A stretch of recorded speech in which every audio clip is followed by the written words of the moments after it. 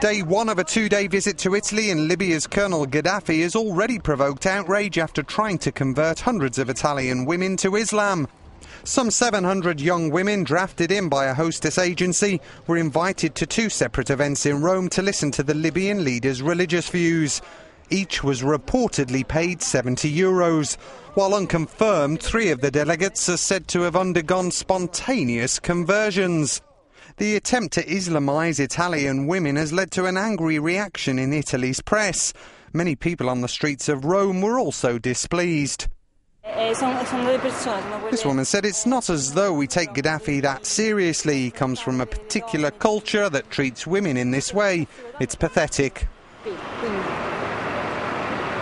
As an Italian citizen, I'm indignant. Honestly, it's one thing to do business, but one's values are another thing. To change from one thing to another is just embarrassing. The Italian government should be very careful playing these dirty games. Much of the blame for Gaddafi's visit is being placed at the door of Premier Silvio Berlusconi, accused of sacrificing principles and dignity for the sake of trade. Since 2008, ties have flourished, with Italy becoming Libya's biggest trading partner after Rome and Tripoli signed a multi billion colonial reparations deal.